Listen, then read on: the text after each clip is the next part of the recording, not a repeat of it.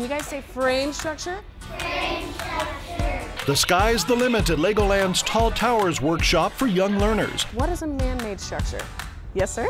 In this class, instructors cover basic construction principles, both natural and man-made. So if you guys were going to be building a wall, which one of these would you build? Students learn how structures are made and what makes them strong. When you guys build, make sure you build something like this. Then they're challenged to build a Lego tower and test their creation on an earthquake table. Here we go. Uh-oh.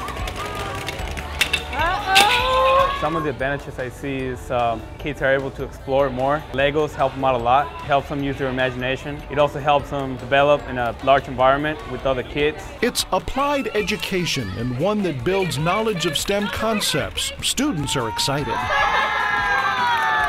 Students are excited and engaged as they exercise creativity and learn fundamentals of science and engineering. It's motivating and it's different than the classroom or even like a play group where we build Legos. It's big, it's got rides, it's got all the fun stuff. When they got to test the Legos on the table, it was the best, best part for them.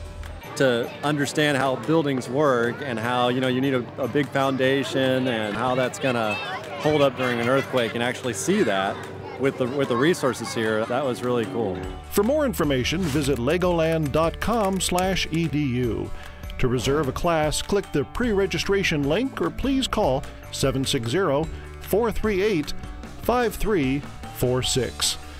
Hands-on STEM, 21st century learning and project-based learning.